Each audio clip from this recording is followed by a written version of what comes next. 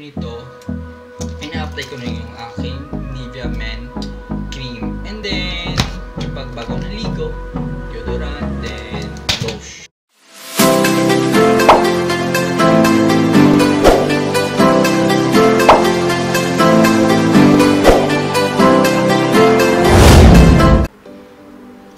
Welcome back to my YouTube channel. It's your Papogi Ramiro Stocado and kung baka pa lang sa YouTube channel na ito, huwag mo nakalimutan pinutin subscribe button at yung notification bell para updated ka sa mga susunod videos and don't forget to give a thumbs up and leave some comment down below. Ang gagawin po natin ngayon mga mga paganda ay magpa-product review po tayo. So, na-miss ko na yung mga na-miss ko na talaga yung mga product review ko since before. Yes. Itong mga product na i-review ko ay for men's. I mean, para lamang po sa mga papogi natin dyan. Then, alam ko naman nagbabala kayo. Pumuti, kuminis yung inyong mukha, mag-glow yung skin ninyo, mag-smooth, maging kutis artista, mga ganon. Mga ganong bagay. So, ito yung mga products and tips ko para sa inyo. So, kung gusto nyo matutunan, patuloy lang po sa panonood. Ito mga papogi yung aking tips and tricks kung paano maging ganito ka pogi. Self-proclaim. So, mag, mag ganito ka pogi po talaga yung ating i-achieve for today's video. And, yes, budget friendly din po siya. Hindi siya yung mahal na mga brand or hindi siya mahal na mga branded na, bibili, na nabibili mo. And, disclaimer lang po pala, hindi po ito siya sponsor product. So, baka kalain yung sponsor po ito. Hindi po ito sponsor. Bago. Yes, bago po ito. Yung kanilang Nivea Men White 8 Hours Oil Clear. So, eto po siya. Maganda to. Kasi anti-oil and plus detox mud foam. So, para siyang ano, uling kapag ina-apply mo talaga siya para siyang uling. Kapag bago kayong natulog, gamitin nyo yung kanilang Nivea White 8R Oil Clear. So, itong mud foam na ito. Maganda talaga siya pag ginagamit. Kapag gabi at saka pag umaga. Ito yung best nilang product ngayon kasi nasa 55 pesos or 60 pesos lang po siya. 5 grams lang po ito. So, ito yung pusong-uso ngayon, mga papogi, mga paganda. Ito, po yung uso ngayon. So, budget friendly, saan ka pa, di ba? Karamihan talaga ng mga lalaki, wala makikita sa kanilang CR, sa kanilang bathroom, sa kanilang palikuran. Walang kahit isang produktong Nivea, di ba? So, aminin nyo yan, kahit isang produkto sa inyong CR, meron talagang Nivea product. And then, after nun, gamitin mo na rin yung kanilang kahit anong klaseng deodorant, gamitin nyo yung Nivea Men deodorant, anti-perspirant. May Cool Kick, merong ano, black and white, meron fresh active, ganon. 48 hours long po yung kanilang yung amoy. So, ito no, konti na lang nga yung konti na lang yung aking deodorant. O, saan ka pa? 'Di ba?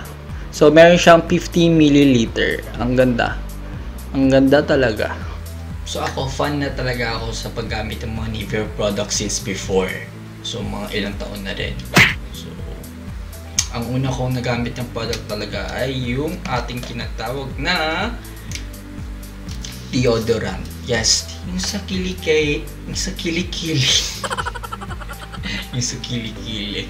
Maganda talaga yung mga product na Nivea, Nivea Men, especially yung mga deodorant or anti-perspirant deodorant kasi maraming different na klase or different types of deodorant na meron sila. Mabango, mabango yung feeling, tsaka mabango kapag pinagpapawisan ka talaga.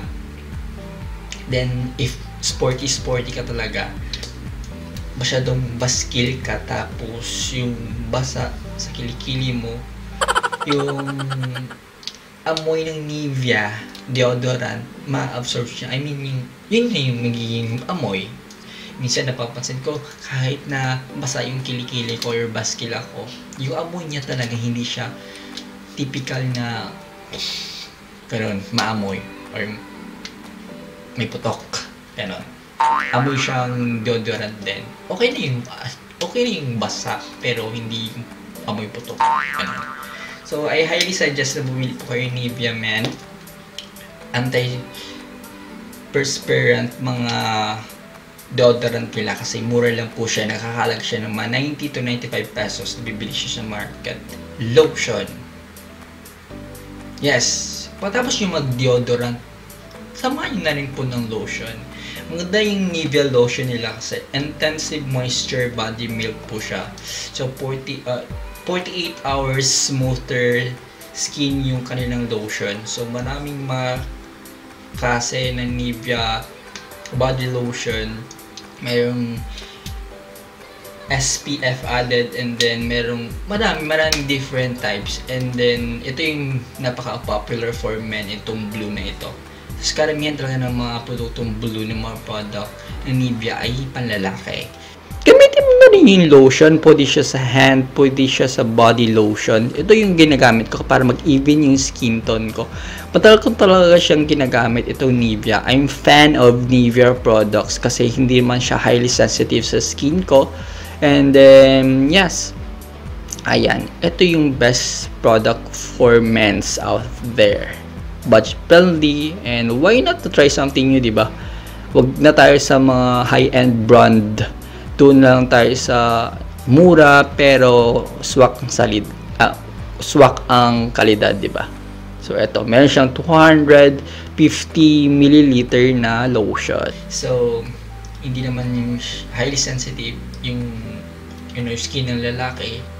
Iba naman yung skin ng lalaki sa skin ng babae, 'di ba? So dapat kapag gumagamit yung lalaki ng band, make sure na men products po talaga yung gagamitin natin. So ito yung yung kanilang deep moisture essence with vitamin E and avocado oil. Maganda siya kasi meron siyang vitamin E and avocado avocado oil alam naman natin yung uh, vitamin E, free radical forms as a result sa ating skin. So, nagmo-moisturize po siya. Maganda tong, ano, yung kanilang body milk. So, itong body lotion nila is merong 250 ml. So, matagal siya mauubos. Then, mabibili po siya Nivea Men na buy one take one. So, saan ka pa nakakamura ka na, di ba? Mga 125, 135 pesos lang buy one take one na Nivea Men product lotion. Karamihan talaga ng mga lotion na nabibili ko sa Nivea ay buy one take one. I highly suggest talagang gamitin ito kasi para pumuti yung skin natin. Tulad nito. Medyo puputi ako, di ba? Yun yung ginagamit ko talaga. Kung meron ka naman talagang lotion, so samahan mo rin yung para sa mukha mo. Yun yung ating Nivea Men Cream. Yes. Maganda itong Nivea Men Cream. Face, Body, Hands Moisturizer siya. So, since na meron naman tayong lotion, di ba? Itong lotion para sa katawan. So, samahan na natin siya na para sa mukha. So, ito ginagamit ko siya para sa mukha ko. So, maganda siya kasi ano siya mabango. Same lang talaga yung mga amoy ng mga Nivea Men eh. Kung anong amoy ng deodorant ko, yun din yung amoy ng lotion ko, yun din yung amoy ng aking moisturizer. So, lahat ng buong katawan ko, same-same lang talaga yung amoy nila.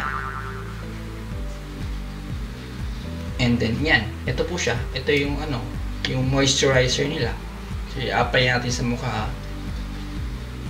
Konti lang ako kapag mag-apply ng ano, moisturizer. Dito lang talaga sa gilid.